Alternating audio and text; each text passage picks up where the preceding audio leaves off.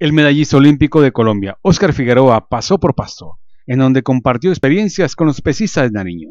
Su amigo personal, Álvaro Hoyos Buccelli, además entrenador de la Liga del Departamento, lo conoce bien.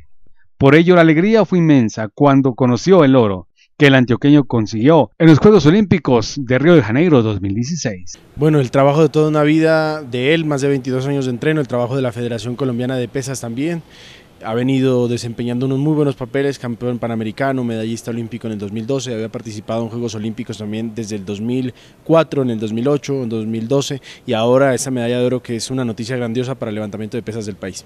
Álvaro tiene el mejor concepto del deportista, no obstante es un luchador, por haber superado varias lesiones. Su rendimiento ha sido muy bueno hasta el momento, se ha mantenido muy bien, a pesar de que ha tenido muchas lesiones, ¿no? Él tiene más de cuatro cirugías, cirugías de rodilla, hernias discales, eh, y ha podido sobrepasar todos esos obstáculos y lograr esta medalla.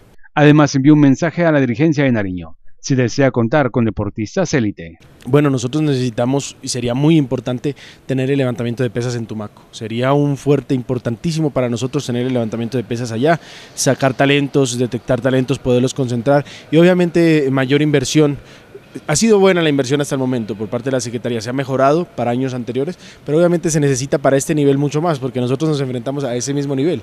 Si yo tengo un deportista 6-2, se enfrentará con Oscar Figueroa y con Javier Mosquera y toda esa camada de deportistas de ese nivel. Entonces necesitamos también que los deportistas tengan un poco más de apoyo para llegar a un nivel como esos. Así, Oscar Figueroa es un hombre que lo más humilde hoy en día es campeón olímpico.